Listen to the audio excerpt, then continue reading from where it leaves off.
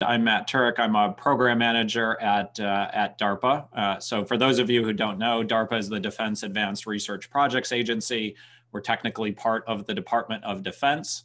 Uh, DARPA was uh, started in 1958 in response to Sputnik. Uh, that was a technical event that caught us uh, by surprise, caught the US government, even caught perhaps part of the technical community by surprise. And uh, so DARPA was stood up uh, to prevent uh, such strategic surprise. So that's, uh, that's the goal of the agency at a high level. Uh, and we fund a number of research uh, efforts to help us understand the technical space and to prevent such strategic surprise. so today I'm going to talk to you about detection, attribution, and characterization of falsified media. Uh, this is probably going to be a broad topic for this particular uh, audience, but I wanted to give you a perspective on, uh, on threats and on technical approaches.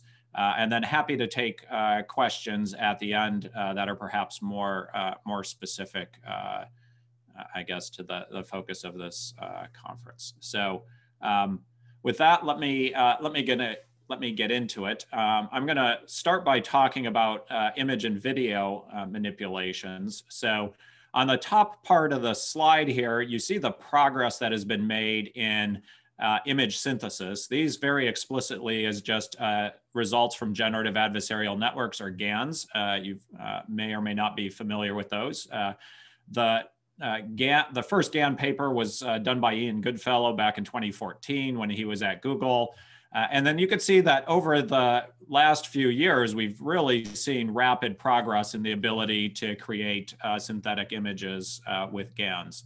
Uh, so GANs are in general a, a machine learning approach. Uh, they can be used for multiple things. Uh, you know, generating synthetic data is certainly something that is within the sweet spot of GANs.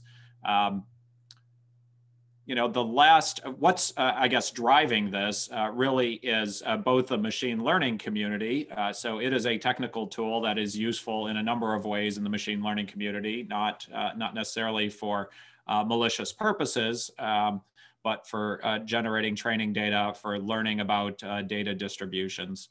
It's also being driven by the entertainment industry. those last couple papers there, 2017, 2018, 2019, that's all work done by NVIDIA.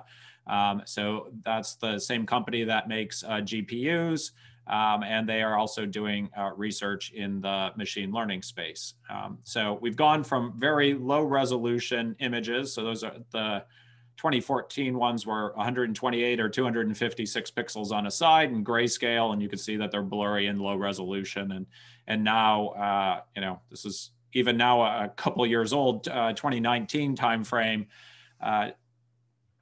You know 2000 4000 pixels on the side photorealistic uh, type uh, images we've seen similar progress on the video manipulation side uh, even predating things like deepfakes. uh, there was uh, work in 2016 on a technique called face to face which uh, enabled the real-time copy of the face from a source to a target including the deformations of that face like the mouth movements uh, 2017 is when the term deepfakes was coined.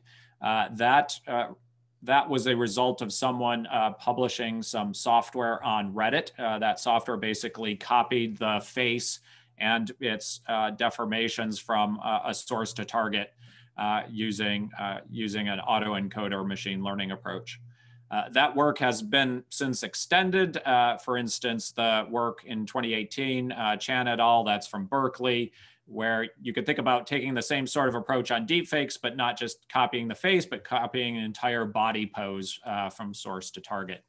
Uh, and then some work in uh, 2019 from uh, researchers at Stanford, uh, where they could edit the transcript of a video in order to change the mouth movements of the speaker in the video. So it doesn't do the audio, but it does do the mouth movements.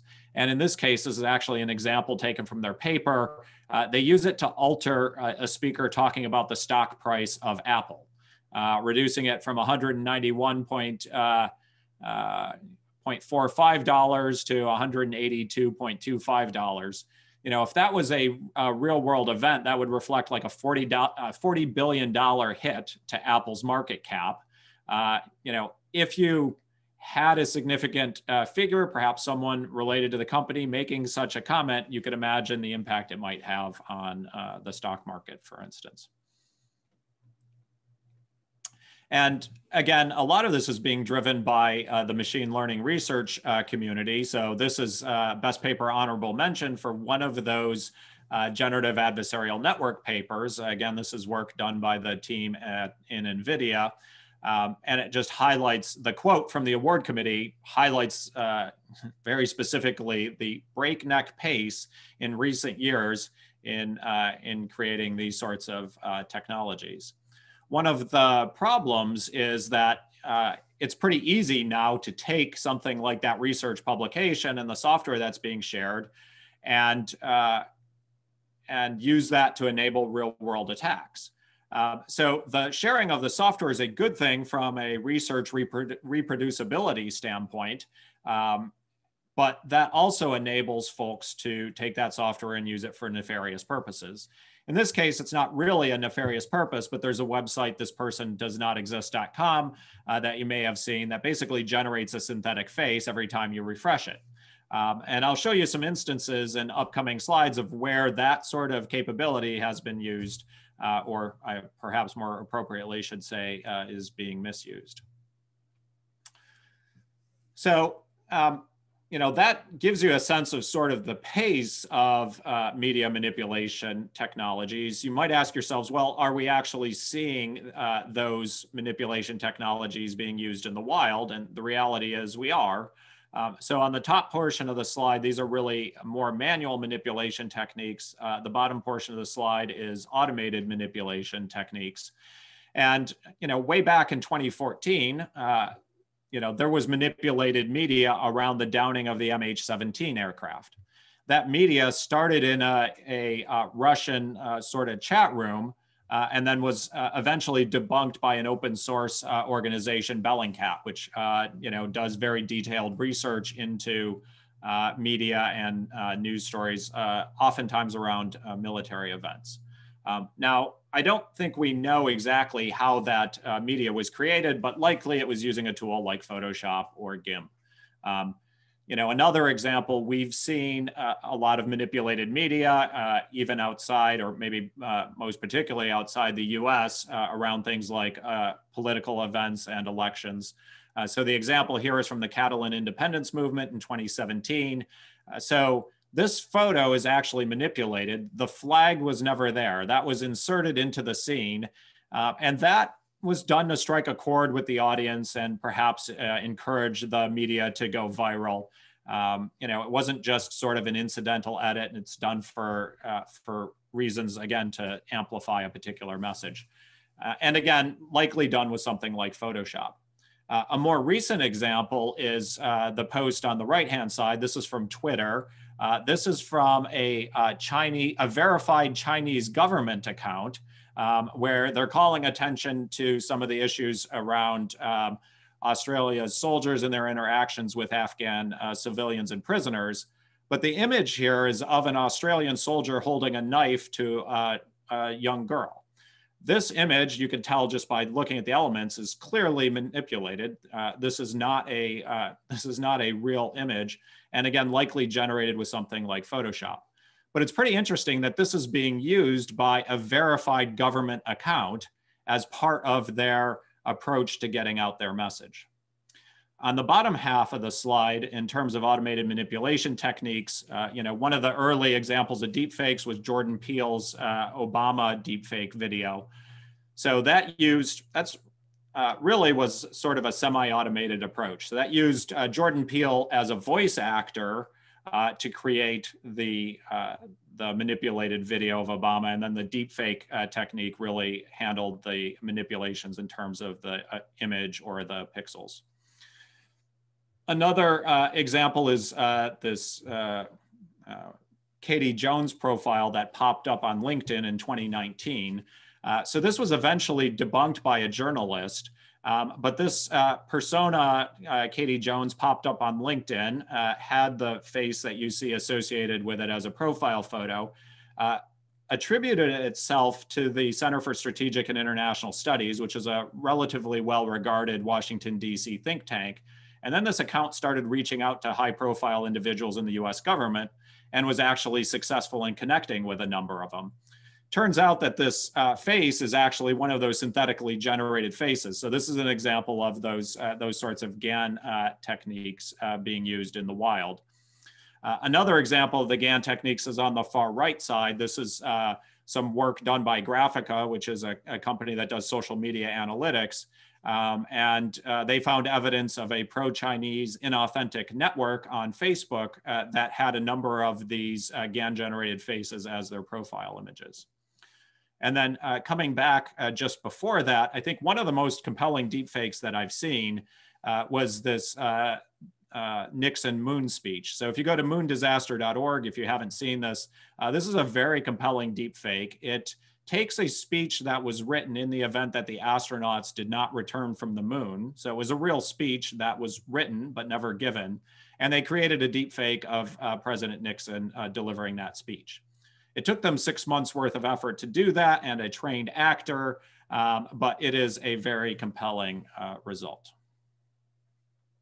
So the uh, challenges that we've seen in this space and what really drove DARPA to start the media forensics program, which was our, uh, I guess, first significant investment in this space, was a combination of a couple, a couple things. One was uh, essentially exponential growth in visual content that was being uploaded to social media, uh, primarily from things like cell phone cameras.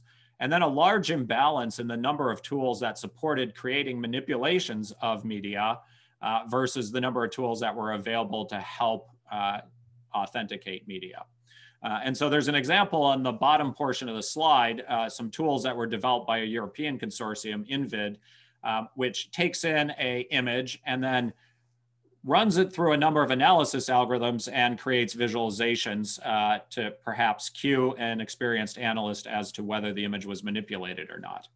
The challenge with that is it still requires human eyeballs on uh, the visualizations to make a decision. And so it doesn't scale well. So one of the things that MediFor was focused on uniquely was a quantitative measure of integrity so that we could do things like filtering and uh, prioritization and triage of media. So I'm going to talk about how uh, sort of DARPA has uh, framed our approach to media integrity. This is uh, particular to MediFor. I'll talk more about the follow-on semantic forensics program uh, towards the very end of the talk. So on MediFor, we were looking at multiple aspects of media integrity, in this case, images and video, digital integrity, uh, looking essentially at really low level indicators of whether a image or video was manipulated. So it might be things like blurred edges or signals from compression. It turns out that things like generative adversarial networks and even some of the deepfake approaches leave behind statistical fingerprints that it's relatively easy for machine learning approaches to find and uh, classify some of that media as manipulated. The problem is, is that those signatures are very fragile. So if you do things like compress or resize uh, or you know other sort of normal image uh, operations, you can actually destroy those uh, signatures that some of the detectors rely on.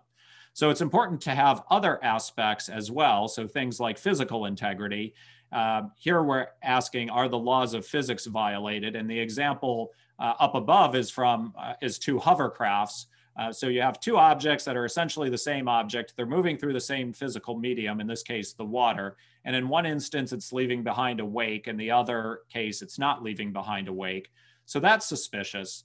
Um, you can think about this more generally uh, along the lines of things like lighting and shadows. Are the lighting and shadows consistent? Is the uh, vanishing point, uh, how parallel lines converge in an image taken by a camera, is that uh, consistent or not? And then the third area that we were looking at on MediFor was semantic integrity. So from a MediFor perspective, this is where we brought other information to bear to uh, either support or dispute a hypothesis about a media asset. Um, and so, for instance, if you know where and when an image was taken, um, you uh, might be able to estimate, and it's outside, you might be able to estimate, for instance, the sun angle and see if that's uh, consistent. Or you might see if the weather is consistent with the location or time of uh, the media acquisition. We also built uh, what we referred to as integrity reasoning approaches. So those are approaches to combine information across uh, a wide range of detectors and these uh, various levels of media integrity. And so let me uh, give you some concrete examples of some of the algorithms that were developed on MediFor. Uh, so on the digital integrity side, this is work done by the University of Naples. This was a deep learning algorithm that basically looked at pairs of patches of pixels in the scene to see if they had consistent noise signatures or not. And so that sort of approach is able to detect and actually segment uh, the airplane that was added into the scene. On the physical integrity side, this is work done by the University of Maryland. The image here is actually a single frame from a video that's composite. So the camera was put on a tripod. Uh, video was taken at two different times of day uh, with two different individuals and then composited together. Uh, there's actually some outside light in this scene, which shows up in terms of the lighting angle on the faces. And so the technique that University of Maryland developed automatically finds the faces in the scene, uh, comes up with approximate 3D models of the face and uses that to back out the lighting angles to see whether they're consistent or inconsistent. And in this case, the lighting's inconsistent. That's indicated by the uh, arrows uh, above the individual's head. Uh, also work done by University of Maryland was uh, in the semantic integrity example. So that is a uh, outdoor scene where there's a GPS location and a timestamp that's available with it. And University of Maryland built a deep neural network that could estimate things like weather properties, um, you know, temperature, humidity, uh, cloud cover, um, just from the pixels. And so you can estimate those properties from the image using the GPS and timestamp. You can go into a weather database and see what the weather was for that particular location and see if it's inconsistent uh, or consistent. We also worked on uh, provenance algorithms. Uh, so you might be familiar with things like reverse image search from Google, where you can associate images together by appearance. Those typically look at the entirety of the image uh, to make the comparison. So MediFor focused on uh, portions of the image, so small object detection and indexing. So that might be the case where there are shared elements in the scene, but not the uh, the predominant scene content is uh, is not the same. Uh, so that might be the case if you copy an object from one scene to another, or uh, portions of the scene is perhaps in the background of another uh, another image. We also did work on something uh, called camera ID. Uh, so uh, each uh, camera detector, because of uh, properties of the silicon, has slightly different response to light. so photo response non-uniformities is what the technical term is. You can use that to actually associate an image to a particular acquisition device in certain cases. Um, and again, those are those sort of statistical fingerprints that I mentioned, so they can be fragile to compression and other approaches.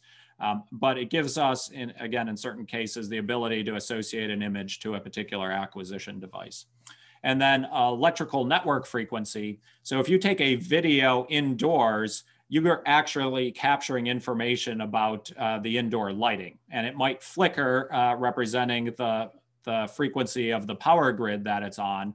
And so you can back out things like whether it's on a 50 or 60 hertz grid. And if you have other sensor data, you can even start doing rough geolocalization around uh, perhaps this was taken in a particular city um, or uh, region. So one of the other things that, uh, that we did on the program was lay out an adversarial landscape. Um, so this is really just a, a notional plot of uh, what it takes in terms of an adversary's skill and resources to create particular types of manipulations. And then you can locate on this plot uh, particular organizations or individuals and then technical capabilities. And really what you'll start to see from this uh, from this exercise is that things like deep fakes and GANs have really lowered the bar in terms of the skill and resources necessary uh, to create a potentially compelling manipulation. Um, and then, you know, there's a number of other techniques uh, uh, on here as well. Um, if you take a look at the defensive techniques that we developed on MediFor, they actually illustrate that we covered the space in a number of ways. Uh, so this was actually an exercise that we did at the end of the program. It's something that we're looking at much more proactively now on SemaFor, which is essentially understanding the trade-offs between resources and skills uh, to understand what are realistic threats both now and in the future, and what does that mean about how we need to build uh, defensive technologies.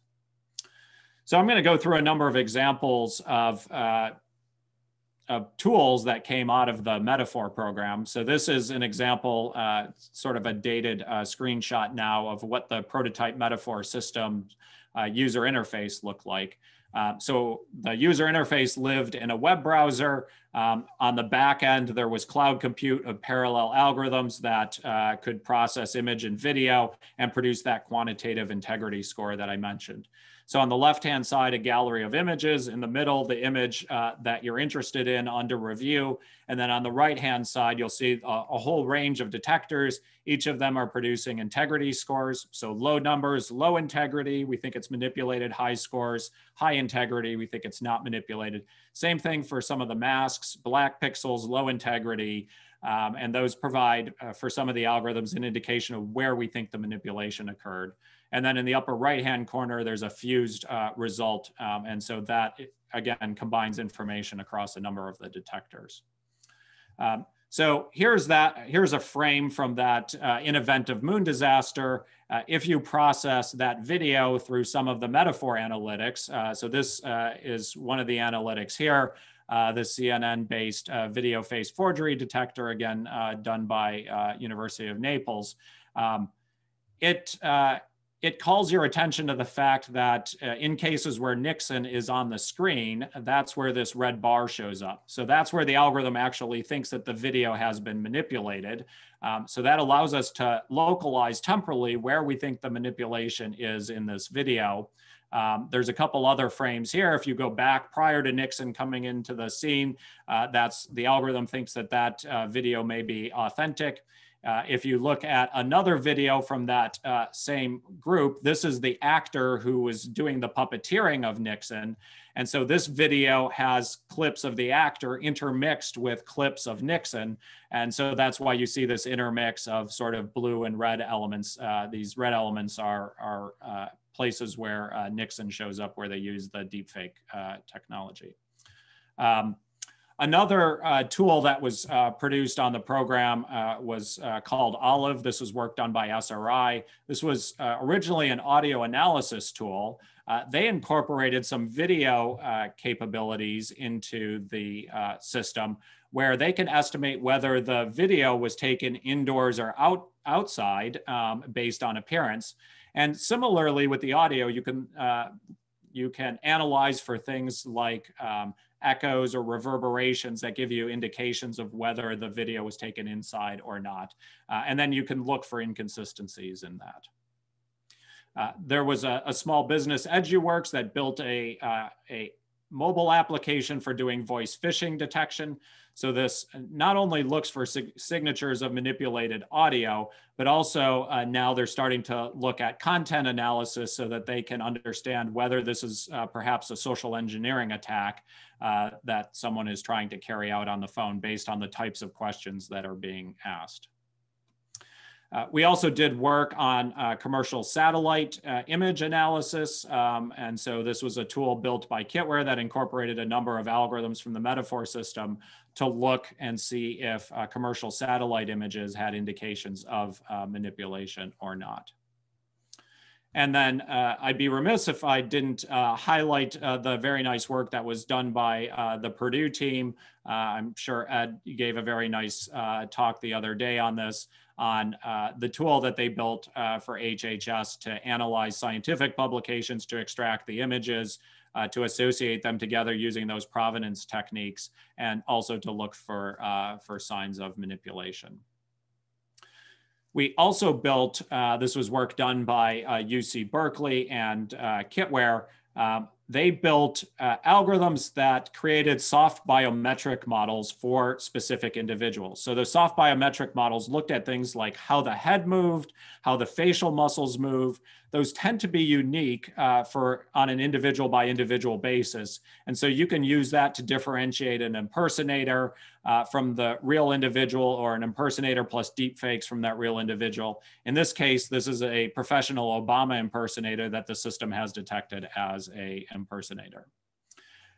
So that's on the image and video side. We're starting to see growing capabilities on uh, manipulation on text and audio. Uh, so the left-hand example here is um, from a undergrad student who had research access to GPT-3. So that's one of these large-scale language models and used it to create a fake blog. That blog was upvoted on Hacker News by thousands of individuals. So that, you know, while he was cherry picking the results out of that uh, synthetic generation algorithm, they were good enough that they fooled a large number of individuals. Um, we've also seen in the wild the use of synthetic audio techniques uh, where uh, about $240,000 was stolen from a UK company. Um, essentially, the attack um, occurred by phone. Uh, the, uh, the phone call was impersonating the CEO of the company and, and putting time pressure on someone to uh, execute a wire transfer. Um, and, uh, and that was how the, the funds were stolen. Uh, and then on the right-hand side is a, a, nice article by Renee DiResta, who's a, a researcher in this space, um, both highlighting uh, GPT-3's response to some of the issues. So again, synthetically generated text, uh, and making the comment about you know what happens when uh, automated techniques allow these uh, this sort of disinformation uh, to be created uh, essentially for free. So the supply becomes uh, infinite. So here's an example of one of those large language models. This is T5, which is a text-to-text -text transformer models. These have a large number of parameters. So they take a, quite a bit of memory and quite a bit of compute to store and execute. Uh, but they're basically trained in, uh, in terms of multiple machine learning tasks. It might be translation, it might be grading sen sentences, uh, it might be doing question answering, uh, but that's basically how these, uh, how these models are built. Um, you know, one of the state-of-the-art models in this space is GPT-3 that I mentioned. Because of the size of these models and the amount of compute uh, required to build them, not everyone has access to them. So this state-of-the-art language model was about 355 GPU years of compute to train this through once. So that's not the entire exploration process, that's just training it end to end once. And if you did that with cloud compute, it's about $4.6 million. So again, there's a lot of uh, resources needed to create one of these state-of-the-art language models. So from an attack standpoint, that means uh, they are not going to be common right now, but of course that cost of compute, the ability to create uh, perhaps compelling models with uh, smaller number of parameters, smaller compute required, that will uh, continue to advance. So, you know, what sort of threats might we see as a result of this? Well, you know, you could think about amplifying that Jordan Peele example. Again, that required a lot of uh, sort of semi-automated work to create required Jordan Peele as a voice actor, for instance. If you can uh, automate that end to end and do that at scale, that would enable someone to do something like uh, targeted personal attacks. Uh, on the right hand side, the far right, there's uh, there's sort of a further example of this. So there's uh, a concept that's out there already, although we haven't seen this attack in the wild, a concept called ransom fake. So this is a mashup of ransomware plus deepfake. And essentially, it's a synthetic blackmail threat. I'm going to destroy your reputation with this forged media unless you pay me money.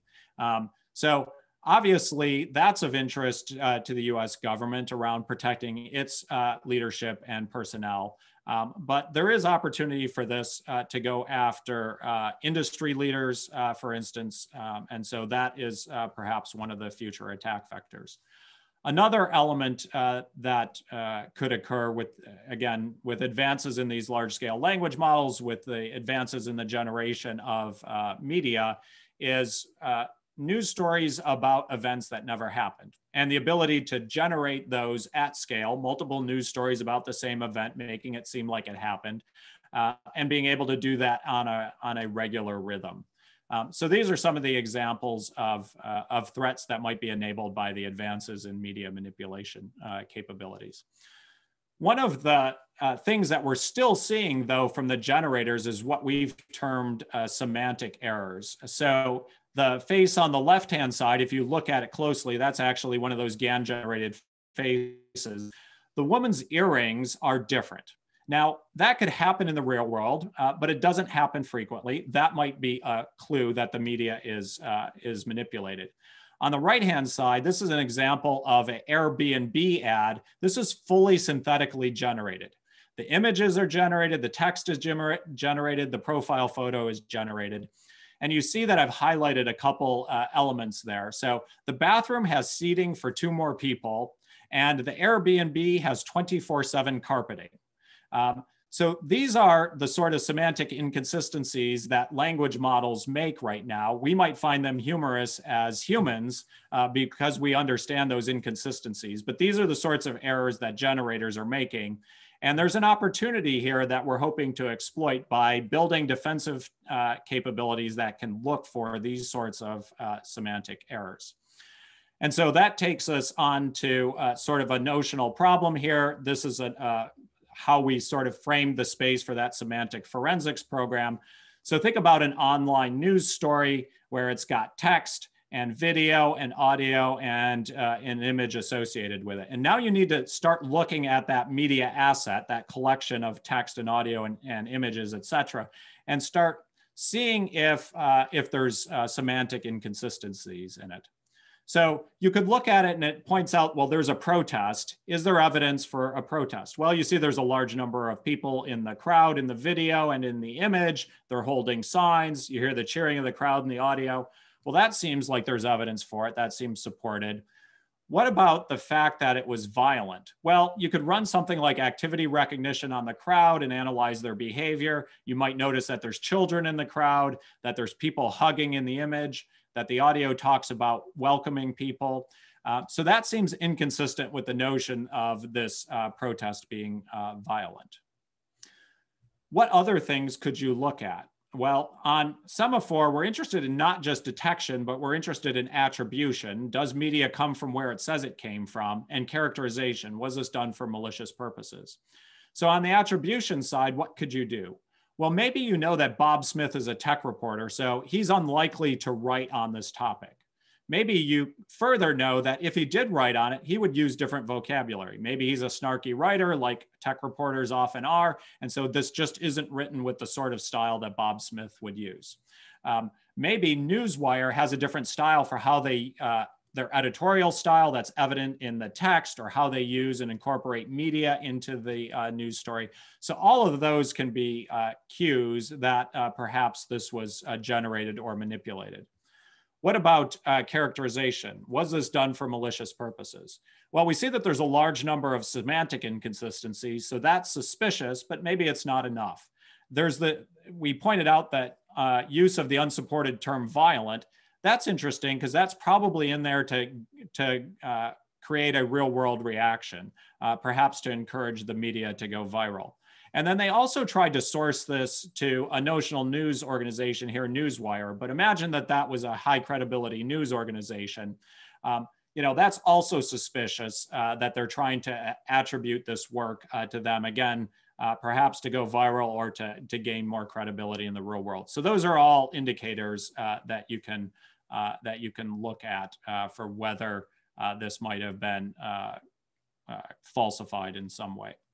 Um, so with that, I will wrap up the SemaFor program that I was just talking about uh, kicked off uh, this past August. Uh, it will continue, it's a four year program, so it'll continue for several years. Um, we're looking first at news and social media, but part of the agenda on that program is actually to look at technical documents. Uh, it might not be technical papers, it might be more like news stories, uh, but that will give us an opportunity to engage uh, with this community uh, specifically. And with that, I'm happy to take questions.